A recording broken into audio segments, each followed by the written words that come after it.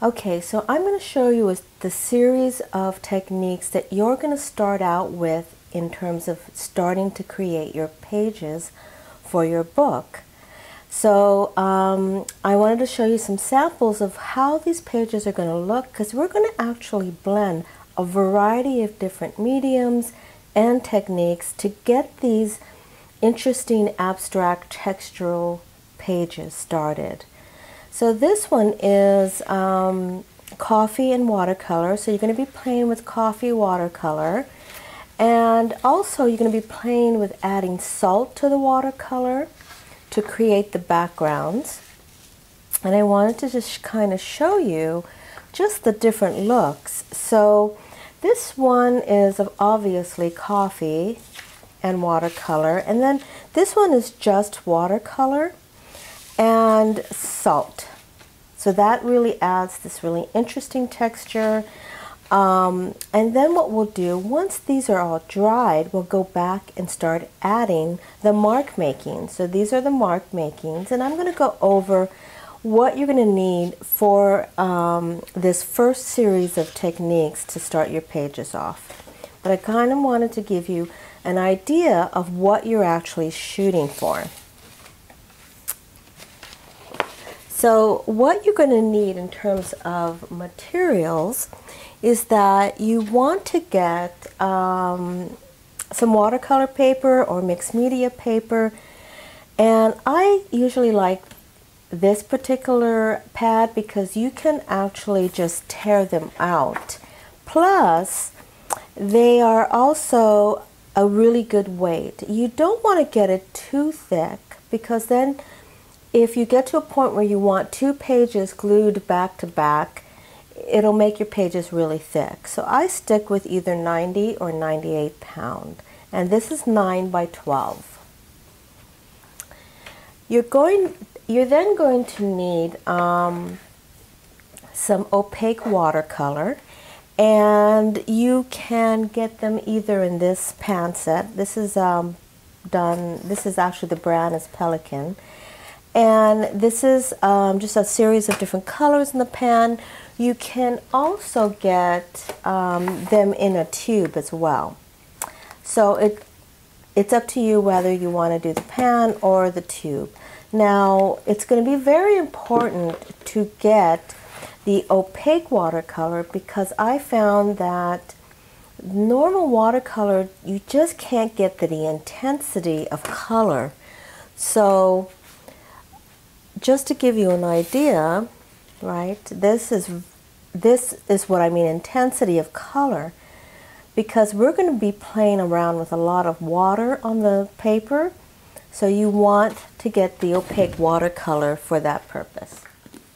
So you're also going to need some acrylic paint for your mark making and usually we do mark making with black but you can also have white on hand in case you might want to go back and forth and um, even if you use um, even the cheap acrylic paint that you can get in the bottle, this is great because it's a little bit more fluid. With these guys, you're going to have to add a little bit more water to um, some water to it to get it to flow when you start making the marks. You're also going to want to get um, coffee, instant coffee. You can pick this up at the Dollar Tree, just cheap instant coffee. Also, you want to get some salt and um, you also want to have some saran wrap for one of the techniques. And then you do want a bottle, a spray bottle with water. So in terms of the mark making tools, you want a variety of different tools to make the marks. So, you know, you can get really creative in what you find around the house. So like credit card, old credit card, old um, you know, gift card is perfect for making marks. You can get a putty spreader. Um, this thing, this wedge is really cool. It's made out of silicone, uh, silicone, the same stuff that's put on um, spatulas for cooking. That makes a different kind of mark. You can also get um, some palette knives with different tips. That will make a different type of mark. Um, anything to make a little circle, that's, you know, that you can also use um, pen caps for that. Sea sponges is really perfect. And then you want to get a variety of paint brushes. This is a fan brush. Uh, sable, you can even get um, a brush that has more of a square tip. So that gives you just a, a variety of marks. And then this is what uh, one of my favorite mark making tools because this is an old worn out brush. I don't care about it. The bristles are old. I actually went ahead and, and cut into that to make it even more um, scratchy and that will make a different type of mark. You can do um, makeup sponges, anything to, to create a round circle. Um, you know, you can even get strings. So this just is going to give you an idea of what you can use just to get your your wheels turning in terms of what can make an interesting mark. So you want to make sure you have a variety of mark making tools. Okay, so let's get started.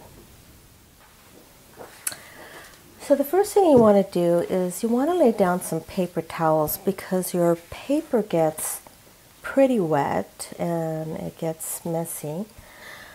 Um, and then you want to take your first sheet of paper and spray that with your water bottle. You want to get that wet.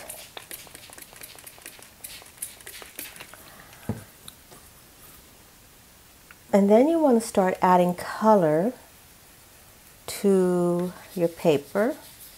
And you don't have to worry so much about how it looks. You just want to get color on that um, page.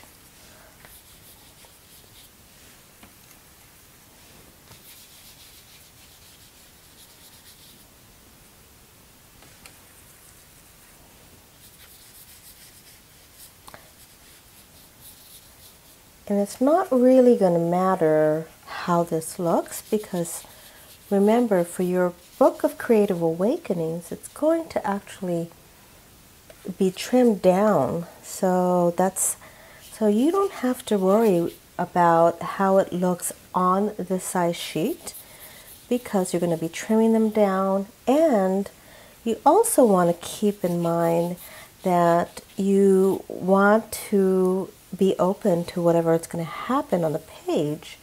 So you don't want to try to control so much of it. Okay? So make sure that you have enough color on there. And this is one of the reasons why I said to use um, opaque watercolor because it really makes a difference how much color you can get on the page. All right, so then I'm going to spray this again just to start getting a little bit of those drops and to get some more water back on there. And then I'm going to take my salt and actually just sprinkle that. And that's going to affect how that how this looks. So now what I want to do is I'm going to go ahead and take this and I'm going to put this aside because I want it to dry as it sits. I don't want to take a dryer to that. And then we're going to go ahead and take another sheet. So the whole idea about um, the whole idea about the Book of Creative Awakenings is you want enough pages to select from. So you're going to actually be creating a lot of pages in this class.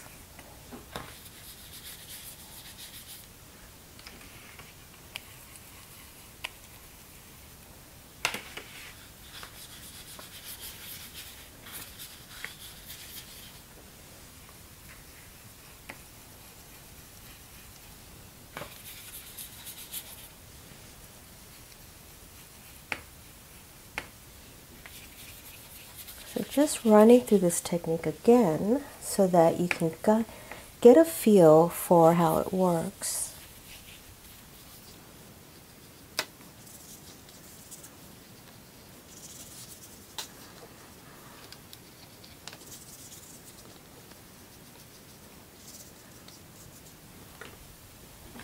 Okay, spray it again with water.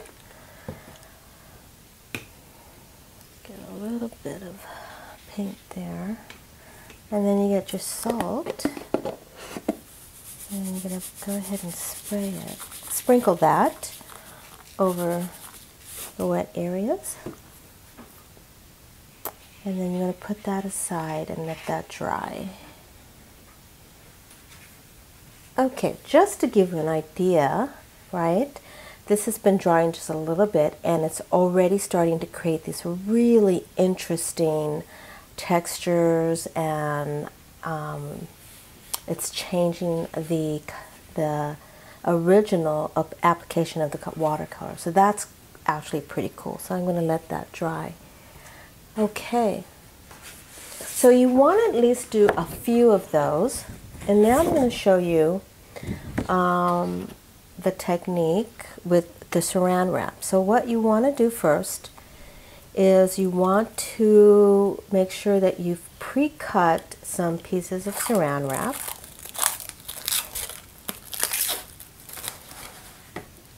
Because what happens is when you apply the, the paint, you want to make sure that you get that saran wrap on the paper before it dries, before the paint actually dries. Okay, so I got that ready to go. I'm going to now go through similar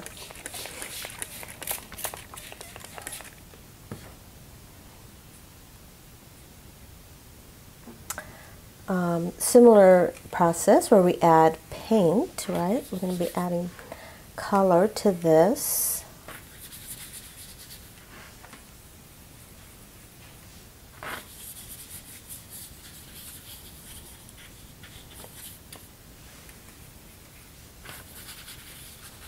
You can see how I'm not even paying attention to detail here on how that because it changes and like that's why I wanted to show you um, the how the other one was changing because it didn't even you don't even see the brush strokes anymore. So that's the fun thing about this technique is you don't really need to be too meticulous with how you apply the paint. The main thing is that you really are just getting color onto the paper. Okay.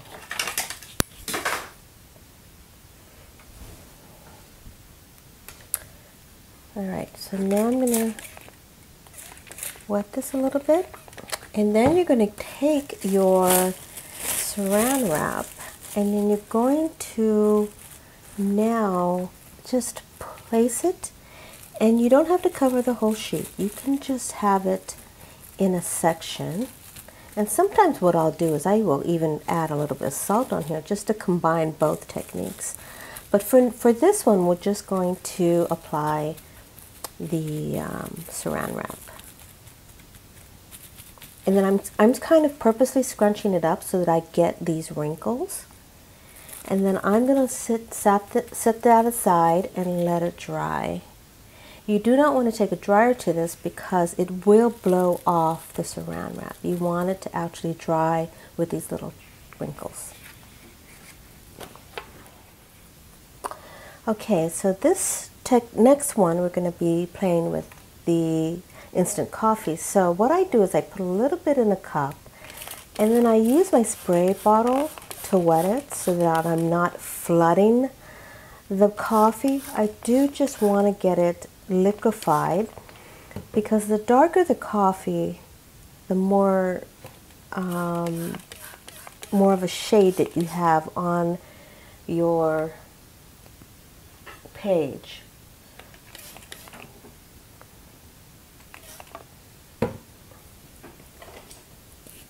And then I'm going to go ahead and mix that a little bit with a brush. And you want to make sure everything is dissolved. So that's actually pretty good. If the coffee is too thick, it can tend to get sticky when you dry it. All right, so I'm to go ahead and put that aside and get another sheet. And then I'm going to go ahead and wet that. And then I'm going to add some coffee on there.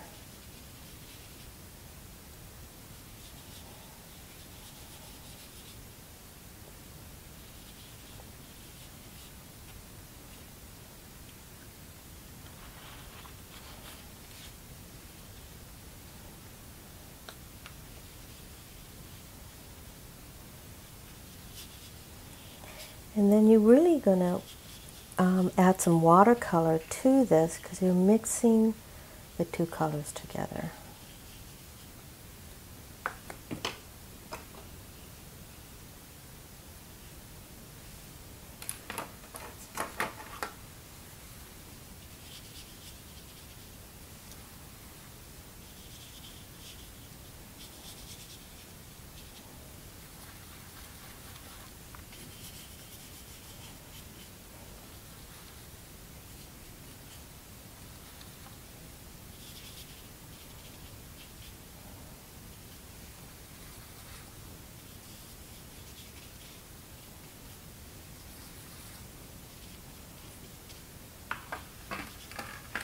Okay, then I'm going to get my saran wrap and go ahead and do the same thing and just plop that on. And I'm gonna, I'm doing a couple of different sections on this one. The other one I had uh, one piece of saran wrap. This one I'm going to actually do a couple of different places.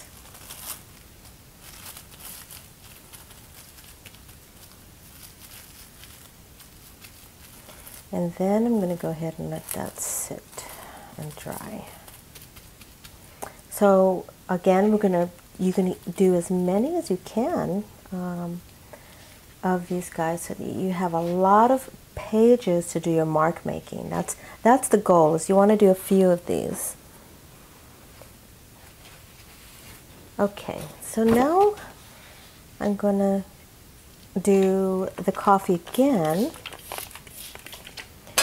I'm not going to really drench that page and then um, I'm going to show you different techniques. So I'm going to put coffee on here.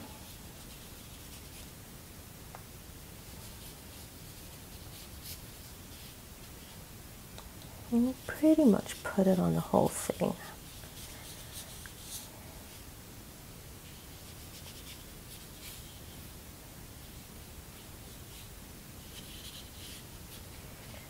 And then I'm going to go ahead and um, add some color. I'm going to use a smaller brush for color.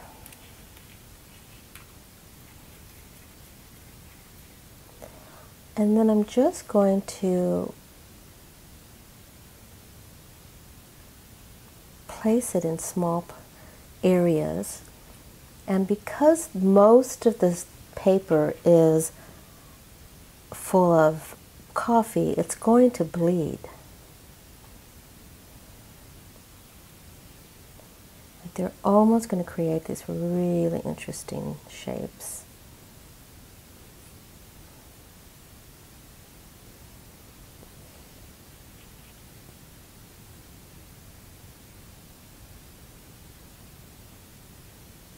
Very cool. Very, very cool.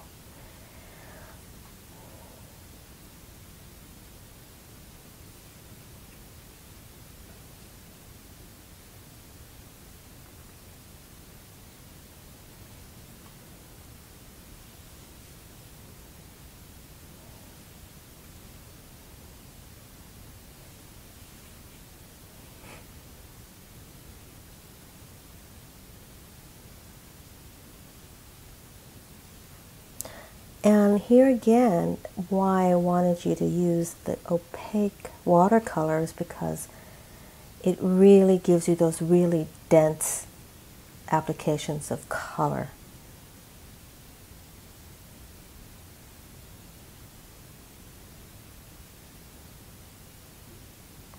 Now this, you can leave this, but going to actually experiment and see what happens if I put salt in some areas.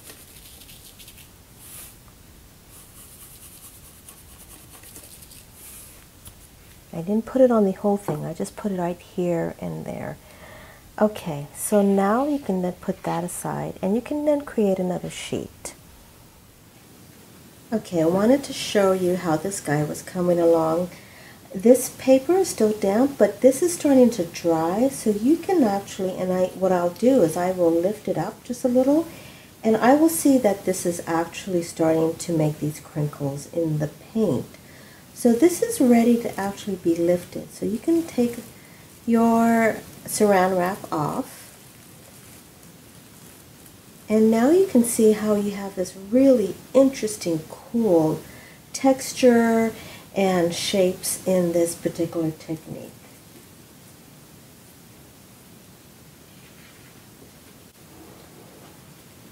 And then remember this guy, this is almost dry. This is and this one's a little damp, but I'm gonna dry this just a little bit.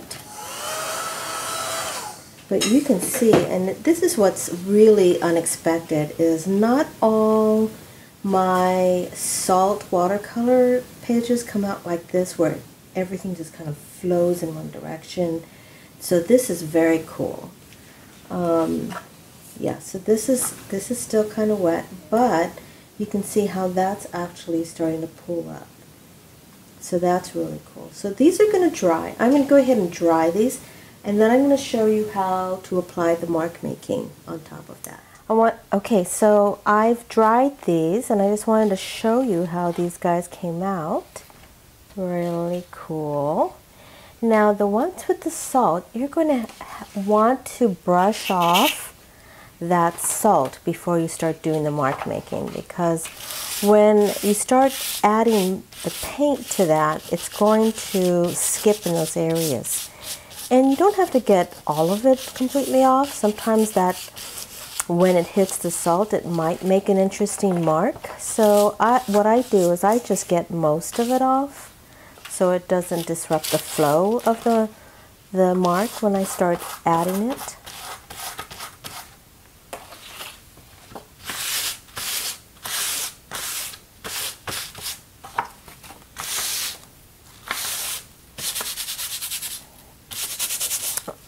And you will find that some of that salt is really stuck on there.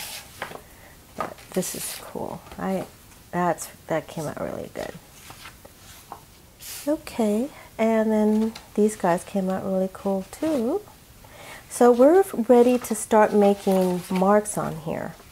So as you know, I'm gonna get this salt out of here.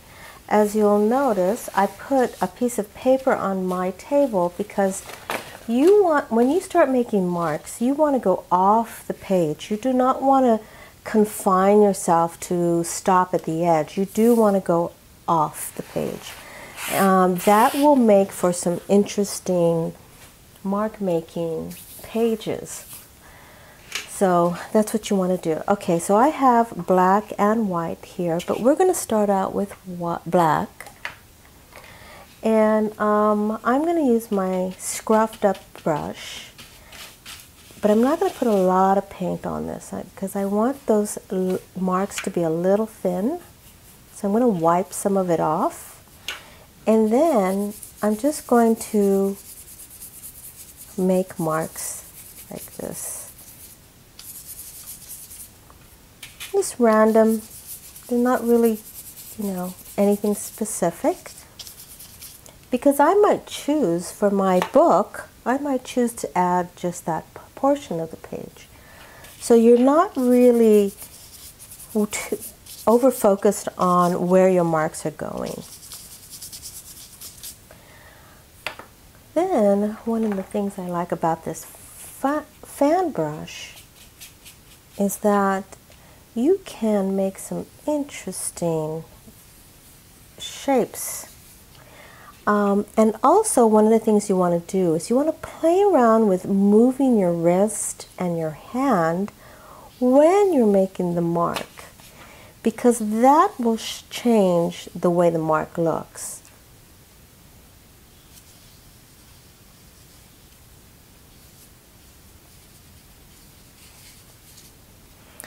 Also, make sure you go off the page too. Um, the thing with with mark making is we're so used to going from left to right when we write or scribble or draw. So we are trying to contradict some of that movement by doing the opposite. So you can move your wrist up and down or move it side to side or move the brush. So you're not just keeping it linear. So I'm going to show you a really good example of that. Like this. So if I go around, but then I move it, it's going to make a different mark. It might make a fatter mark when I do that versus a thin mark. You also, and if you find that your brain gets too much in the way,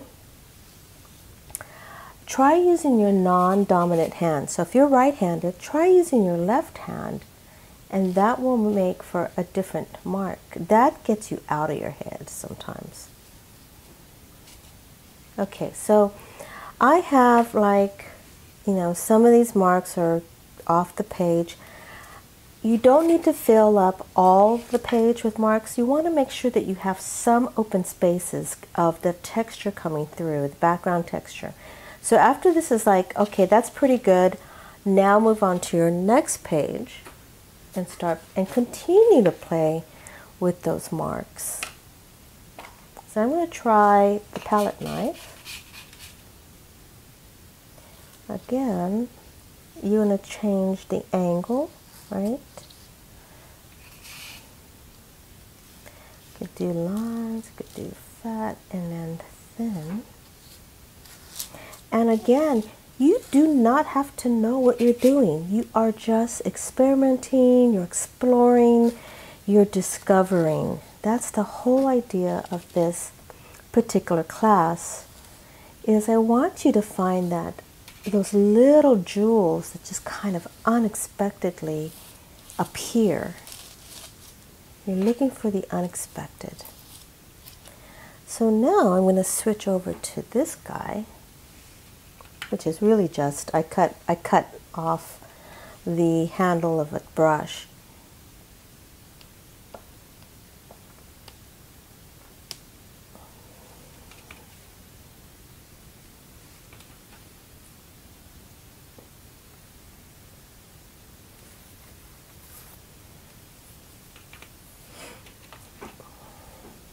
Another thing too is a uh, this is a cap to a pen.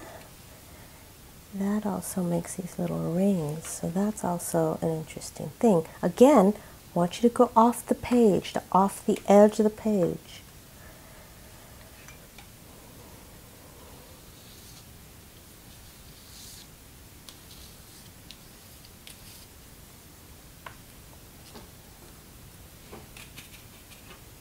And then you'll find that there might be a tool right? A brush or a palette knife, whatever it is, that is your favorite. And then you can just play with that. You don't have to, you know, stick to a variety of them. You might find your favorite mark making tool. That's okay. I just want you to try a bunch of different things so that you can explore the whole idea of mark making and explore what different um, what different marks occur when you use different things. So I'm going to use a string. And the way that I end up doing this is I kind of drag that through the paint with a brush to make sure I have enough. And then I just kind of drag it. This is really, really interesting. Now, the whole idea of mark making is it kind of takes you back to when you're a kid. Because, you know, as we grow, become adults, we lose that sense of play. We lose that sense of, I'm just going to check out, I'm just going to see what's going to happen. If What if I do this? What if I, that sort of curiosity, we, we lose a little bit of that natural instinct to see what's going to happen if I drag a piece of string along this with paint. And that's kind of what I want you to reconnect with is, you know, that childlike intuition.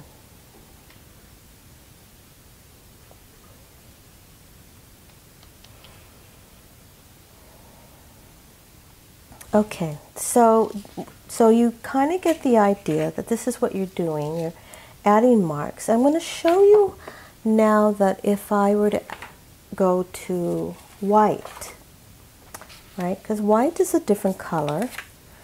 And you want to make sure that you have enough um, dark areas. So I'm going to play around with white.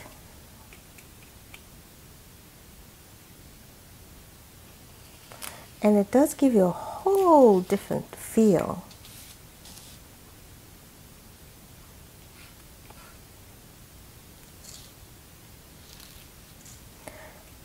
Which I kind of don't mind. That I like this palette knife because it you can drag it.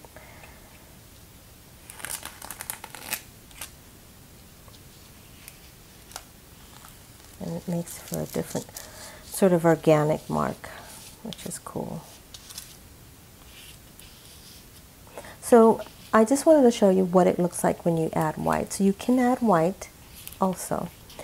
And another, another thing too is that you just want to, the reason why I wanted to do a lot of these pages is that once you get into the mark making process, you're going to find that you're going to need another page so that you want to kind of run through this. And especially if you get into the flow of things, you want to be able to have enough pages to play around with. Okay?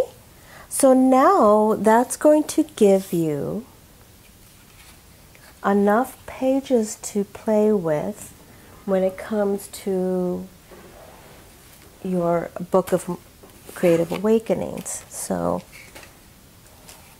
so this is one that I've already done and we've done a couple of different techniques in the class.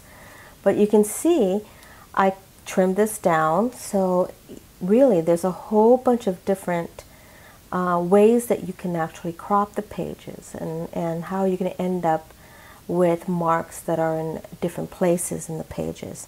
So that's the first series of techniques and then in the rest of the class I do go through a bunch of other techniques that play with cheesecloth, uh, fabric paper, um, it's, you know, paper bag. So that's what's really fun about this class is that you have so many different techniques to play around with and um, actually just allow your, you know, your inner artist kind of explore.